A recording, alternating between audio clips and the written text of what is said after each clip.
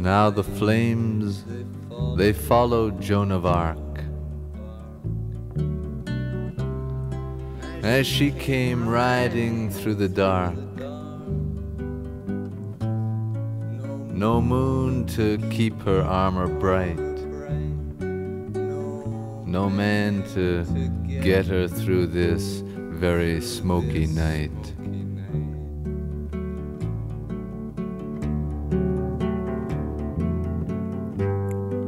Said, I'm tired of the war. I want the kind of work I had before. A wedding dress or something white to wear upon my swollen appetite.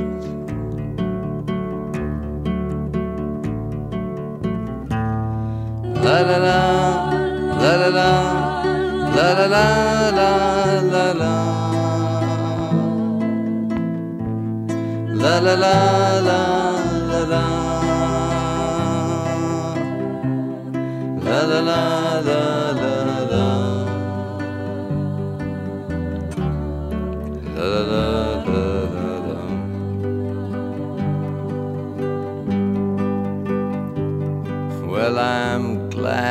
to hear you talk this way.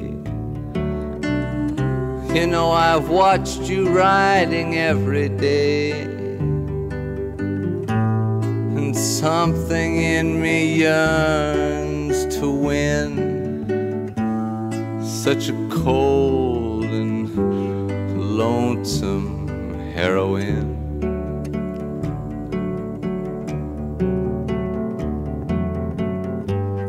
And who are you? She sternly spoke to the one beneath the smoke.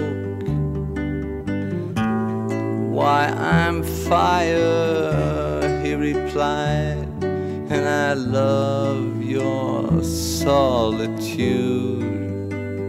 I love your pride.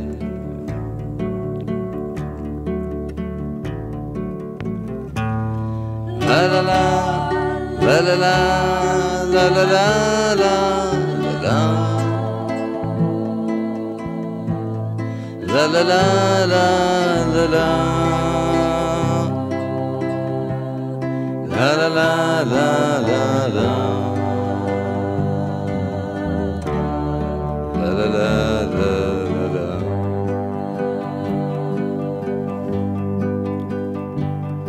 Then fire, make your body cold. I'm gonna give you mine to hold.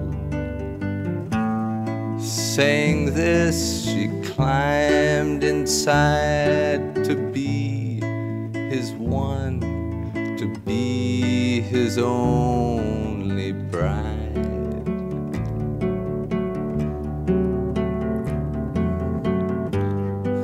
Deep into his fiery heart,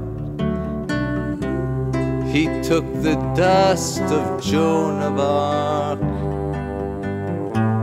and high above the wedding guests he hung the ashes of her wedding dress.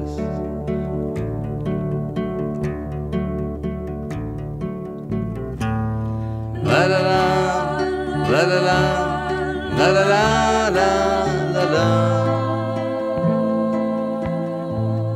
La la la la la la.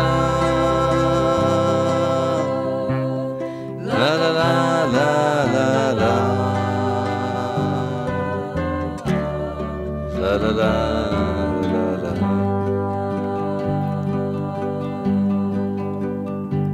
It was into his fiery heart. He took the dust of Joan of Arc, and then she clearly understood if he was fire Oh, then she must be wood.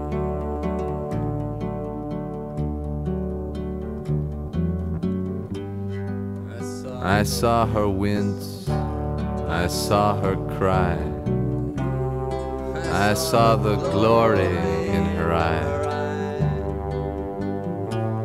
Myself, I long for love and light, but must it come so cruel and oh so bright?